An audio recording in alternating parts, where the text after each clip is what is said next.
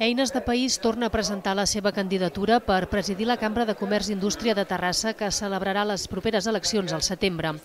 L'encapçala de nou Natàlia Cugaró amb un projecte que vol renovar la institució, obrir-la a tothom i fer-la transversal, perquè sigui una eina útil per a totes les activitats econòmiques que es desenvolupen al territori. Volem ser la casa comuna de l'activitat la, econòmica, perquè de fet això és el que és la cambra, que fins ara ha sigut una entitat molt desconeguda nosaltres el 2019 vam començar a donar-la més a conèixer, però creiem que hem de fer un, un pas més. Eines de País vol impulsar un procés de renovació després de 137 anys en mans d'unes determinades elites que, segons defensen, poc tenen a veure actualment amb la realitat. El PIB del territori ha anat variant molt i, per tant, també la constitució social i econòmica del territori ha canviat i ja no representa el que representava aleshores. Per tant, nosaltres intentarem, en aquest sentit, posar-hi remei amb la presentació de la nostra candidatura.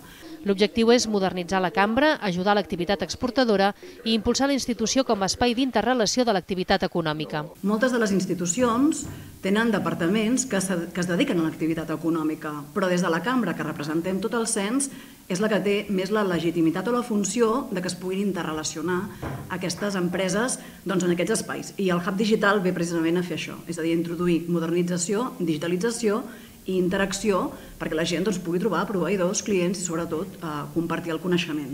Eines de País Terrassa, que va guanyar en nombre de vots la convocatòria d'eleccions a la cambra el 2019, compta actualment amb 10 membres al plenari i 3 representants al Consell Executiu de l'entitat.